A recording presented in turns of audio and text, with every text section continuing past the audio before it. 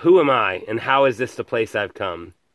What was clear as dim, what was hopeless, now though bright, and what was sure shifting, sands that slide to the ocean.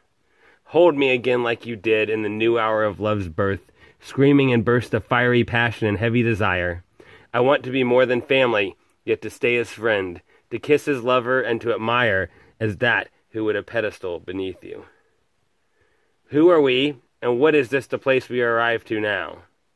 The innocent peace killed in trials of fire, mountains insurmountable. Not like the old days, and for truth they cannot return. But the glimpses of that fire that melted two hearts, weary and ragged, the world beating them down, interlock two souls as one, the sparks of which can a flame of true love ignite again and yet again. Who are you, and how is this the one I would die for? Despite the pain caused so careless as casting a bit of rubbish in the gutter, Despite the way things unleavened can be spoken so thoughtless, still I see the same heart, same eyes, same joyful dancing spirit.